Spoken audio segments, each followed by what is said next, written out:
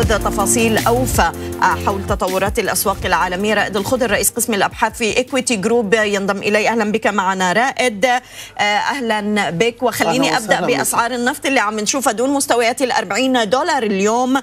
يعني إلى جانب الاجتماع المرتقب 17 سبتمبر لدينا العواصف اللي عم نشوفها أيضا بخليج المكسيك. إلى أي مدى ممكن تضغط على الأسعار؟ وكذلك عودة النفط الليبي إذا ما عادت تشغيل الموانئ من جديد كما استمعنا إلى بعض التصريحات الحكومية.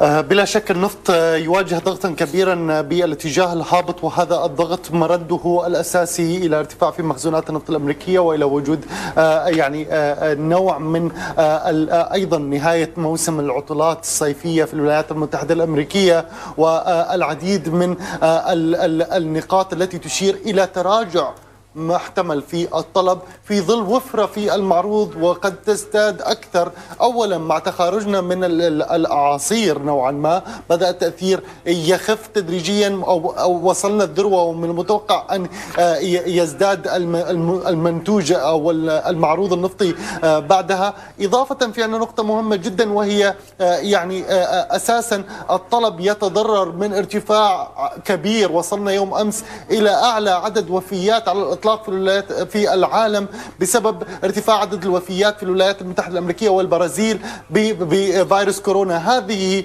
تعتبر عبء إضافي يضاف على كاهل الطلب المتراجع على أسعار النفط وبالتالي أسعار النفط لم تنهار. أسعار النفط تتراجع دون مستويات ال 40 دولار للبرميل. وأعتقد ال fair price عند هذه المستويات ممكن يكون أدنى من ذلك عند ال 35 دولار البرميل ولكن أوبك بلس كان لها عامل مهم جدا في تحقيق استقرار أسعار النفط قرابة هذه المستويات على الرغم أنه يعني الواقع لا يعكس حقيقة هذا الطلب المتقدم.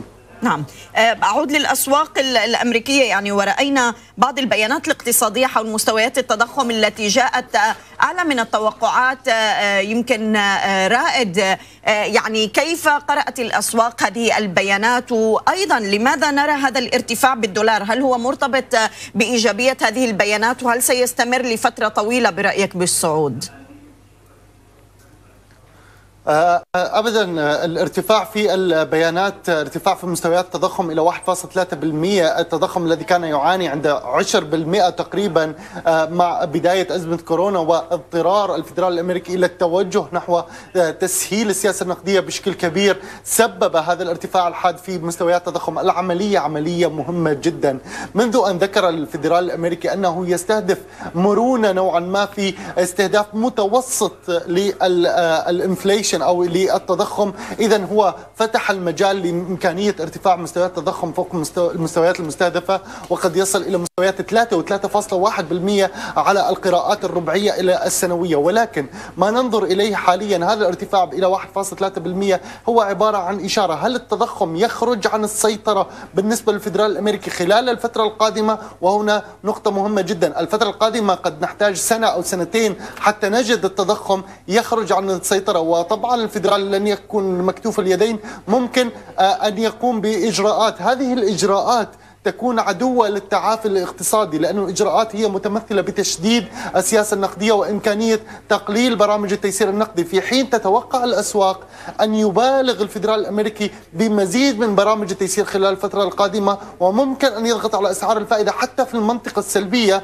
وإن أضر ذلك بمستويات التضخم ولكنه سيساعد على تحقيق يعني margin أو هامش للتعافي قبل أن يتجه إلى إجراءات تشددية تمنع ال hyper inflation أو ما يسمى بالتضخم الجامح الخارج عن السيطرة. نعم، لكن يبدو بأنه السياسات يعني عم تتشابه الآن ما بين الاحتياطي الفدرالي وما سمعناه من كريستين لاغارد مع نهاية الأسبوع رائد يعني حول عدم التدخل ربما بمستويات التضخم ضمن السياسات النقدية، هل هذا ما زال عم بيعطينا أي إشارات إنه ما زال المستثمر عم بيتجه للملاذات الآمنة خلال هذه الفترة ويعني إحنا شايفين الذهب عم يتداول عن مستويات ال 1900 لكن ما دون ال 2000 دولار إلى أي مدى ال 1900 بات دعم نفسي مهم بالنسبة للمستثمر؟ بلا شك إذا تحدثنا عن كريستين لاغارد وباقي البنوك المركزية فهي تتبع خطوات الفيدرالي الأمريكي. وإن كان على سبيل المثال المركز الأوروبي قد أفرط باستخدام الأدوات التحفيزية حتى من قبل الأزمة الاقتصادية ولكن آه، أعتقد ما يحتاجونه هو آه، مرتبط بال fiscal policies أو بالسياسات المالية وتخفيضات الضرائب أكثر من أي توجهات من قبل البنوك المركزية. ولكن البنوك المركزية حول العالم هي متجهة إلى سياسات تحفيزية وتيسيرية بشكل كبير.